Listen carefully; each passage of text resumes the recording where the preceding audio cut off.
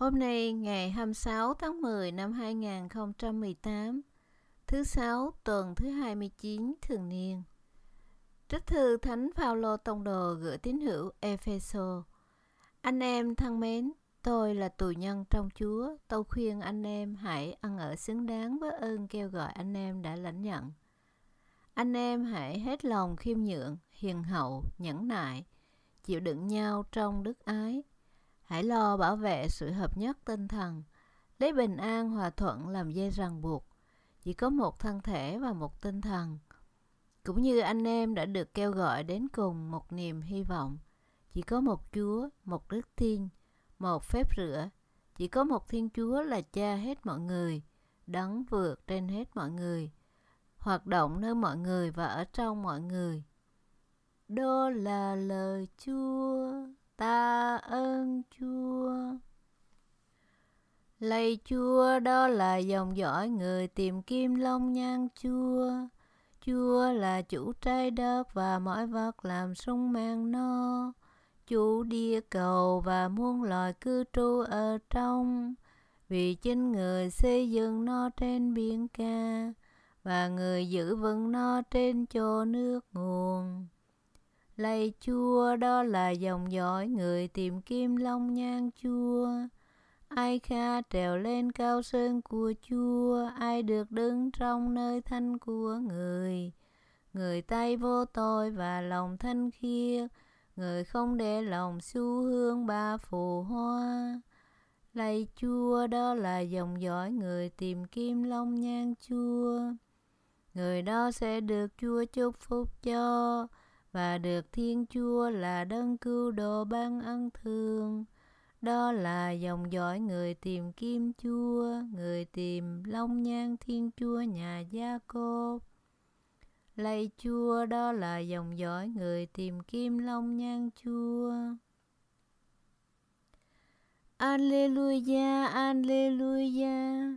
Chúa phán, Thầy gọi các con là bạn hữu vì tất cả những gì Thầy đã nghe biết nơi cha Thầy, thì Thầy đã cho các con biết. Alleluia.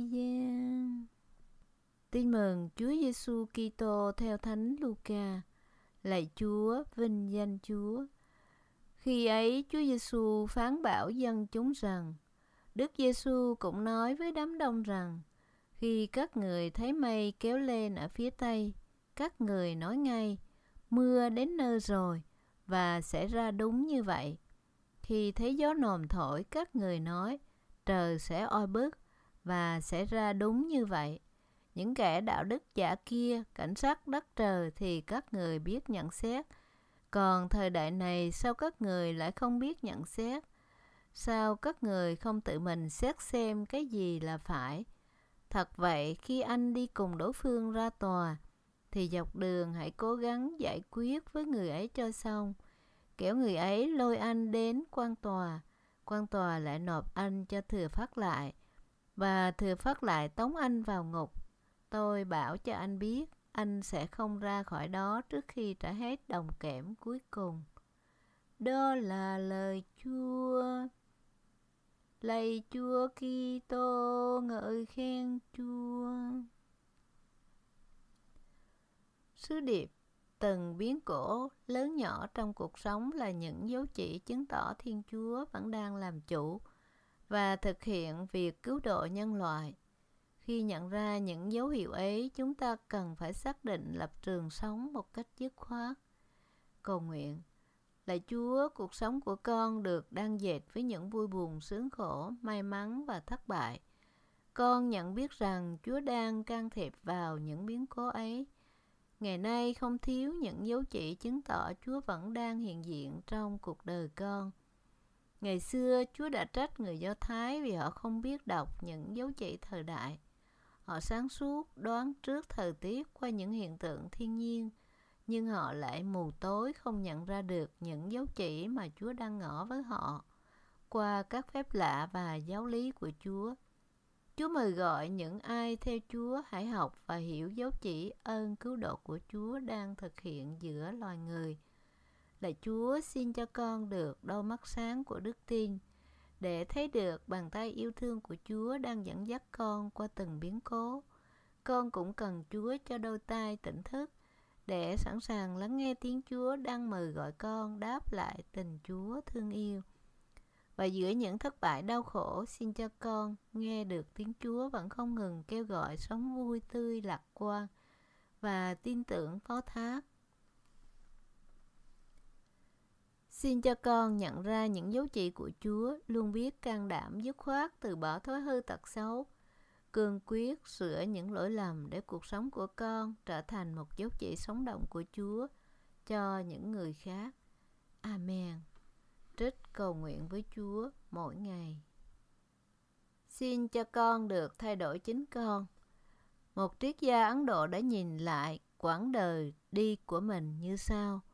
Lúc còn trẻ, tôi là một người có đầu óc cách mạng. Lời cầu nguyện duy nhất mà tôi dâng lên Thượng Đế là Lạy Chúa xin ban cho con nghị lực để thay đổi thế giới. Đến tuổi trung niên tôi mới nhận thấy rằng một nửa đời tôi đã qua đi mà tôi chưa thay đổi được một người nào. Lúc đó tôi mới cầu nguyện với Thượng Đế. Lạy Chúa, xin ban cho con ơn biết biến cải tất cả những người con đã gặp gỡ hàng ngày, nhất là gia đình con, bạn bè con, và như vậy là đủ cho con mãn nguyện rồi. Nhưng giờ đây tóc đã bạc, răng đã long. Ngày tháng còn lại chỉ đếm trên đầu ngón tay, tôi mới nhận thức rằng tôi đã khờ dại biết chừng nào. Giờ này tôi chỉ còn biết cầu nguyện như sau. Lạy Chúa xin ban cho con ơn được thay đổi chính con. Nếu tôi biết cầu nguyện như thế ngay từ lúc đầu thì tôi đã không phí phạm quãng đời đã qua. Người xưa đã có lý khi dạy chúng ta tu thân tề gia trị quốc bình thiên hạ. Theo trật tự của cuộc cách mạng thì cách mạng bản thân là điều tiên quyết. Một nhà cách mạng nào đó đã nói chỉ cần 10 người như Thánh Francisco thành Assisi thì cuộc diện thế giới sẽ thay đổi. Cuộc cách mạng đầu tiên mà bất cứ vị thánh nào cũng khởi sự đó là cách mạng bản thân. Chúa Giêsu đã chuẩn bị 3 năm sống công khai bằng 30 năm âm thầm, 40 đêm ngày ăn chay cầu nguyện. Và lời kêu gọi đầu tiên của Ngài là hãy sám hối và tin vào tin mừng. Ai trong chúng ta cũng biết câu châm ngôn Thà thắp lên một ngọn đèn hơn là ngồi đó mà nguyền rủa bóng tối.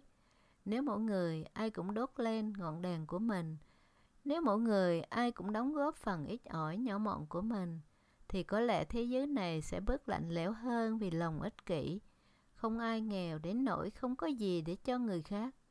Chúng ta hãy bắt đầu bằng món quà nhỏ mọn, có khi vô danh của chúng ta.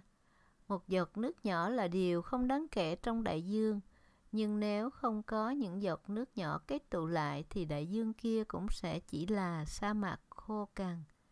Bài trích sách lẽ sống